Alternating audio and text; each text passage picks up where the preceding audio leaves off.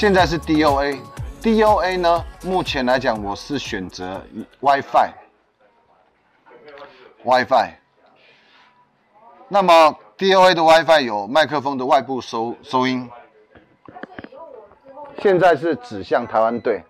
好，那我接着要出去走走，然后来顺便让大家理解麦克风的差别。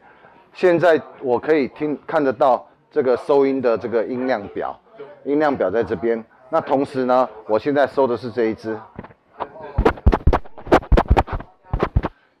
T N W Dish One 的指向原厂的麦克风，待会是用采访麦，我们来走一下距离，然后顺便看看这个 WiFi 能够多远，五公尺，现在是五公尺，十公尺，十公尺。大约十公尺的距离，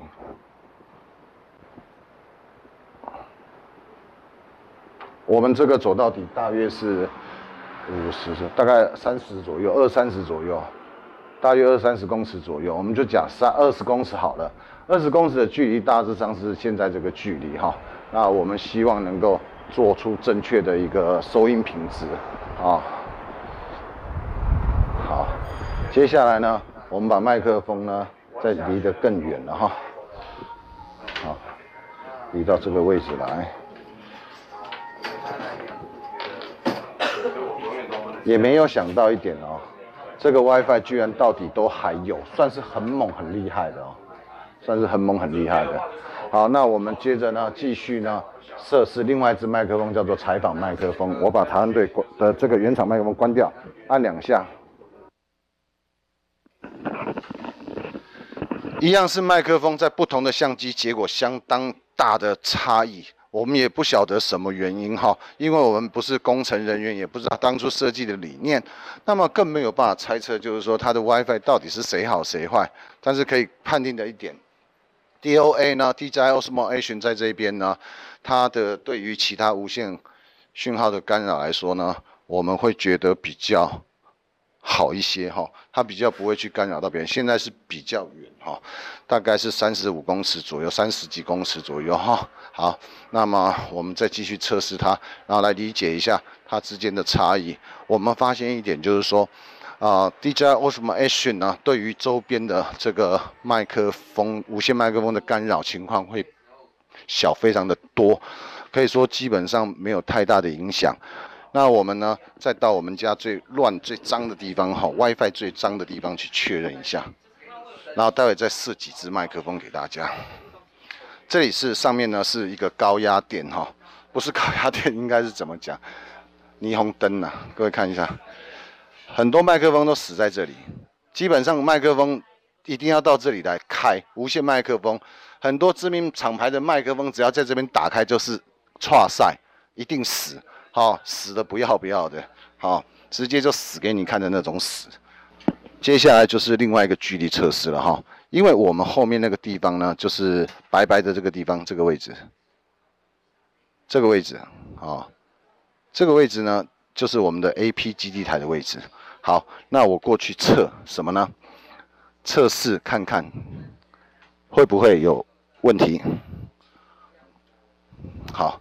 那现在这是即将上市的 我们的采访麦，后面还有几个型号哈，就是项链麦跟 LP One，项链麦跟 LP One。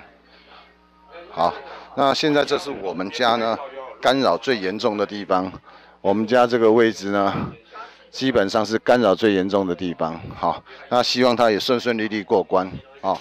如果 OK 的话呢，相信会带来很大的帮助。好，这是这支麦克风。这支麦克风呢，呃，T N W 的系列，给人家做采访用的，好，比较方便，小巧可爱。另外呢，也是要让大家做手机用的，好，它手机用它可以折，它可以折。它有指向的跟全向的，好两种尺寸。目前这支是指向的，弯尺弯尺。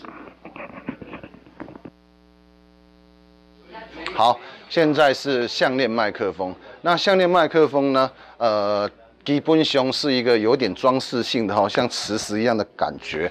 那这麦克风呢，呃，会比较热闹一点点，因为它是全向的哦，所以全向的适合两个人对话了哈，两个人对话。那这支麦克风就是有这样的一个特色，跟大家分享。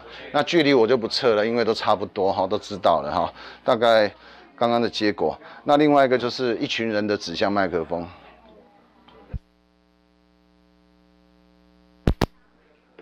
当我们要把访问做到就是很干净、很干净的时候呢，你可以透过这样的方式呢，就可以盖掉哈旁边一些人讲话的声音，旁边的声音就会不见。你只要讲话的声音呢，在指向的范围内，尽量往它里头发声音呢，声音就会变得很干净哈，很干净。指向收音这样可以做到。好，那我们测试这边呢，再跟大家。分享一些麦克风的一个注意事项。我们麦克风在使用的时候，注意就是说，如果是无线麦克风呢，你接收器在你的相机 WiFi 打开情形下，在它旁边绕，如果绕没有问题，都没有什么，就不会有太大的这个麻烦。呃，就是刚好没有搭到。再来就是接收器在你的手机这边哈，它开 WiFi 嘛，在那边绕，都没有搭到就没什么问题。呃，现在唯一就是遇到的痛点就是说，呃，GoPro 目前我们我们在挑那个就是说，呃，比较适合它的那个无线麦克风。那现在 DOA 呢，呃，目前来说跟台湾对麦克风非常的匹配，那效果也还 OK。那么，呃，DOA 跟 GoPro 本身彼此之间，他们都有他们的互相不一样的地方，各有各的呃优点。那么也可以说，就是说青菜萝卜，请各取所需哈。DJI 麦克风，DJI 麦克风啊，你如果说来选用这套装备的时候呢，它就是小巧的一个麦，哦，长这个样子，好。八点。好，那也有抗风性哈，然后希望大家了解。那最近一系列的这个。采访装备呢，通通都微型化了。那我们做了很多套给媒体，他们去进行采访工作之用，也获得不错的口碑跟回响。也谢谢你们的支持，我们会再接再厉，把这些作品呢，呃，依照你们的需要呈现出来。